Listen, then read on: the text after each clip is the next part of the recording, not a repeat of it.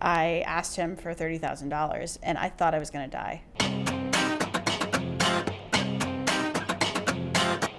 Hi, this is Peter Heller, and I'm here today with another episode of Outrageous Fortune, where fundraisers and others tell their most outrageous fundraising stories. I'm here today with Mika Vandersall, who's going to join us and tell some of her stories. Hi, Mika. Hi, Peter. How are you? I'm well. How are you? I'm great. Do you want to tell our audience something about yourself? You and I have worked together for three or four years already. Yeah. Amazing how fast that goes. I am a fundraiser also and work with faith communities, and I'm a pastor too. Do you have an outrageous fortune story for us? I've been thinking a lot about this, and I thought maybe I'd tell you the story of making my first big ask. Time for your star turn. All right. so I ran a nonprofit before I got into the whole consulting situation. And as so many people do who enter into nonprofit work, um, didn't really know what I was doing. I had a lot of passion and had a lot of love and not a lot of skills.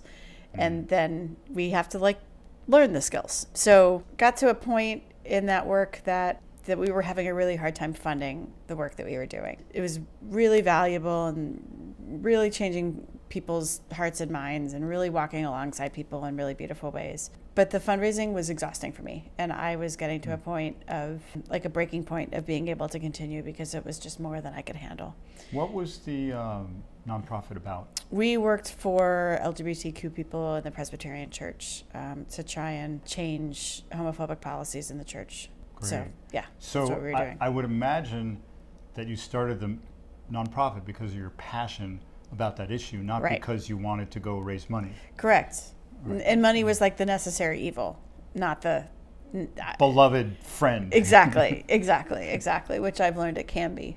Yes. Uh, but that took some time. Yeah. So what happened? So I had a donor who came to me and said that he really believed in my work, that it's clear I didn't really know what I was doing, and that he was a businessman who worked in a tall building and made a lot of money, and he wanted to give it to me. That's how he described himself. That's that is basically how he described himself. Yes.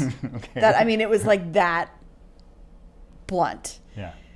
and that I needed to come up with what I needed to ask him for it.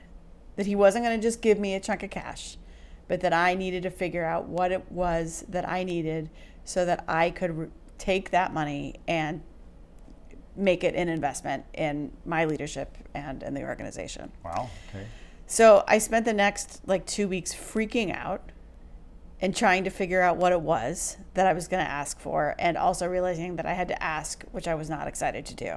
Without revealing anything, did, was this somebody you knew, or did he just kind of show up out I- of nowhere? And I knew him. I didn't know him super well. He had been a somewhat lower level donor. He had given some some money in the past, but I never had the guts to actually just like forthright ask him. We just we knew of each other, and he was a member of a Presbyterian church. So I Wow. yeah exactly. So I um, I actually found a consultant that I wanted to work with because I knew that I his challenge was so that he the money could duplicate not that not that i could just sink it into a program and be done with it and never ask you know and then have to come back and ask him for the same thing Yeah. again so i had met a fundraising consultant who i knew i wanted to work with and knew that i that the ask was going to be to hire that person to teach me what i needed to know um, so I wrote budgets out and I think through spreadsheets and I did a whole bunch of stuff in that way. And I got a quote from him and began talking to members of my board. If I raised the money, would they be on board with Okay. spending it in this way? Yeah. And with um, with them joining me in that process because it's it's about it's not only about me as a fundraiser, it's about the board Yeah. stepping up as well. And I, I knew that much at least. I mean, it's just, it's somewhat outrageous, right? Like, that's like, when do you ever get a donor that comes to you and says, I want to give you money. All you have to do is figure out what you want it for and then come and ask me. Yeah. It's a pretty Like, it's pretty awesome. Yeah. Right? Awesome and unusual. Yeah, exactly. So I brought my treasurer with me, and we did indeed go to a big fancy pants office building with, you know, when you go way up high in Manhattan, Yeah. extraordinary views of the rivers and all that kind of thing. And we crept up to the whatever cajillionth floor in an elevator that felt like it took like way too long and no time at all. And I was just sweating out of every pore of my body. Wow. And we got there, and I asked him for thirty thousand dollars, and I thought I was going to die. I really, Do you remember how the words came out of your mouth? I barely do. I like it. It's it's a it was a complete Like out of body experience? out of body experience. I was convinced he was going to be angry at me, even though he had asked me to ask. Yeah. Um, I was convinced that we would no longer be friends. I was convinced that uh, he wasn't going to like what I was asking for. I was convinced I was asking for too much, that I didn't deserve that. I mean, like all of the narrative stuff that I bring my clients through now Right. were just, it was pretty remarkable, all that I had to go through to What get that out of my mouth. Um, he asked a lot of questions. So I said, This is what I want it for. This is the research I've done. This is what it's going to allow me to do, so on and so forth.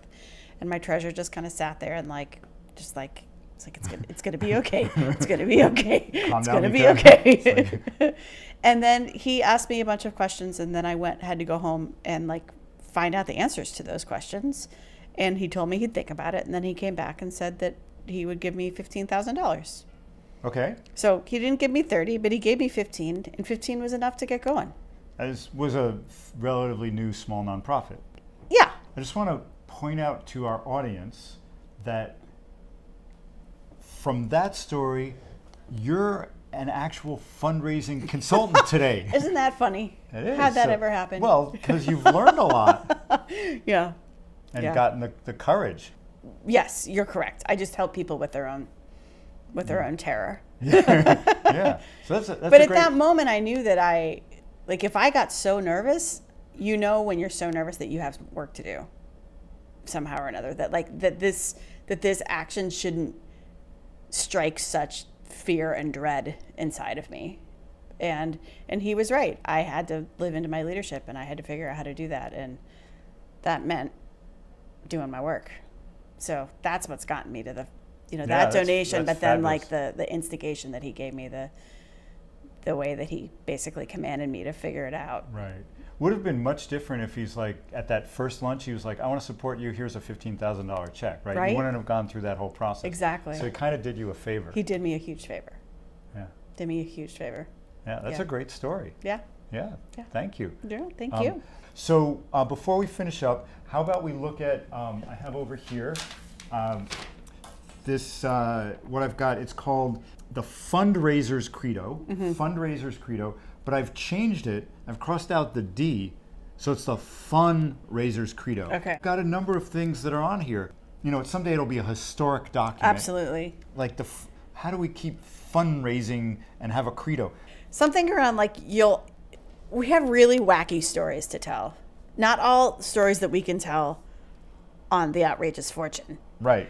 but stories that we can tell privately over glasses of wine um, with trusted colleagues. So like weird stuff happens when when you raise money and Right. we see all of humanity in doing so and um, That's a really good point. something about like Cool. it, something about the the just the the weird stuff that happens Yeah. Could we say um, tell wacky stories? sure like i have a friend who courted a donor forever and ever and ever and she could not get him to sit down so that she could ask Yeah. And so she ended up being driven to the lir station somewhere on long island. And he's half deaf and he's driving her there and his wife is in the front seat. And she asks him for $50000 from the back seat of his car while driving to the long island railroad. 'Cause that was, like, the only because that was it. she was like done. She's like i i have you know i've courted him. I've done everything i can do. I've cultivated forever. I need the money. I need him to say yes or no and she asked him for the basket of car like we wouldn't suggest doing that but sometimes these are the stories that happen to us Yeah. Any idea what happened? he gave it to her you didn't say what? I can't hear you. exactly That's great. I'll have right. I, I love that. stories. Tell wacky stories. That's a great addition to the fundraisers credo. excellent And I'm here today again with Mika Vandersall. And this is Peter Heller with Outrageous Fortune. Thank you all for joining us. And thank you, Mika. thank you peter Remember to like and subscribe. Get your free major gift tools at hellerfundraisinggroup.com. What's your outrageous story? Write to info at hellerfundraisinggroup.com.